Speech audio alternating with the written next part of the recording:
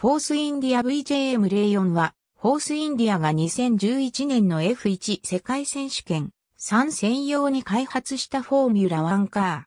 ー。2011年の開幕戦から最終戦まで実戦投入された。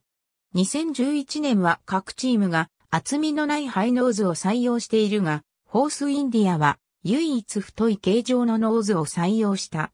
ロータス T128 と同様に、インダクションホットは前年メルセデス GP が導入したブレード型ロールバーを選択した。リアエンドのパッケージは外部供給品で構成している。7速ギアボックスは2009年シーズンより技術提携をしているマクラーレン製。本家マクラーレンと同様にリアサスペンションをプルロットに変更した。エンジン及び KERS はメルセデス製である。ピレリ製ワンメイクタイヤのパフォーマンスを引き出すため、元ブリヂストンのエンジニア松崎淳が加入した。また、ブロウンディフューザーの開発も重要課題としている。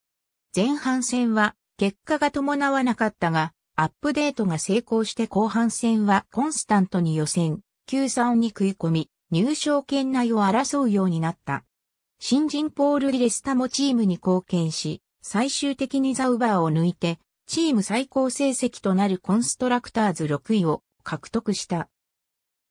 チーム初の地元開催レースとなった第17戦、インド GP では、インド映画 RA1 とタイアップし、マシンのノーズに主演俳優、シャールク・カーンを描いた。ありがとうございます。